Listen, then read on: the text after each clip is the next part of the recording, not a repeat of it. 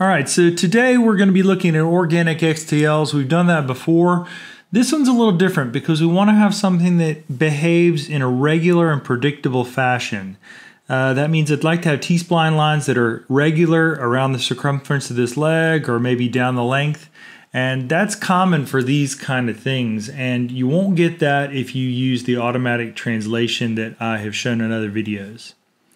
What I recommend you to do is go into the form environment and use the face command. And there is a command here that says uh, object snap. So it will actually snap as you're creating T-spline faces, individual T-spline faces. It will snap onto the mesh as a guide.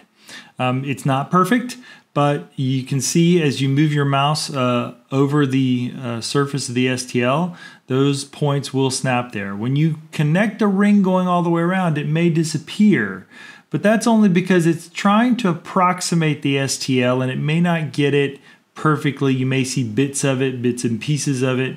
But if you go in and um, increase the number of T-spline surfaces you have by doubling them up, let's say, this will give your T-spline the opportunity to fit itself a little bit better. In addition, and you will use this command many, many times, you will need to use the pull command, which will pull your T-spline vertices onto the mesh. This you do in addition to the snapping that you did before, and you will do it continually. Don't make the mistake I did and forget to select through or use your window select improperly, and I had to go through and select each individual uh, vertex here afterwards. But you can see if you do this, it fits pretty well.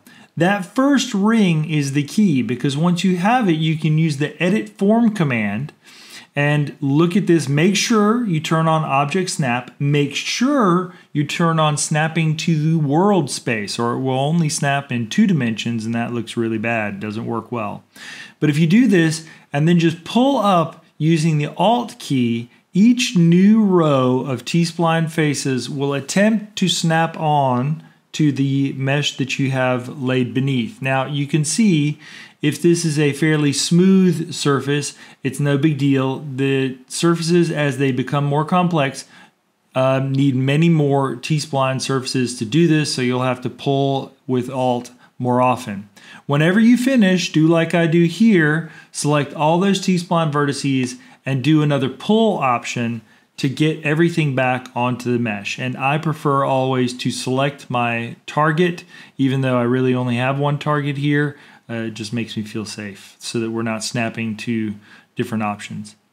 Now, the bottom is an area where you'll need a trick, and what I do is it's still the edit form command, and I scale using the point in the middle that scales in all three directions while pressing the Alt key, and that pulls all those T-splines in the ring, that last little ring down there, down to the to a point and collapses them together.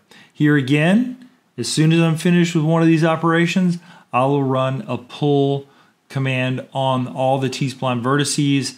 I tend to do this quite a lot because if I don't, I may end up having things hanging off in space and I may construct my next items based on false geometry that I don't really want and that can cause me a lot of trouble downstream.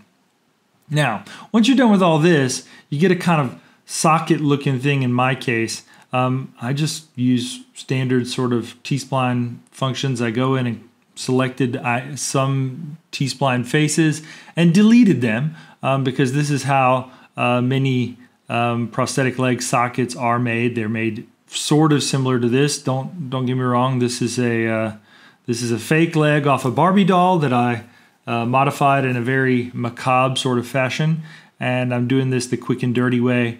This is by no means uh, the work that a prostheticist would do, but um, it is sort of similar to what I've done in some of my projects like that in the past. Now, your needs may be different, and whatever project you're going to be doing, you're going to need to know how to use that form command. But what this will give you is a T-spline that has regular lines on it, in my case going around the circumference or top to bottom, and it will behave in ways that are predictable, allowing for easy modification and fitting to other mechanical elements. As always, good luck.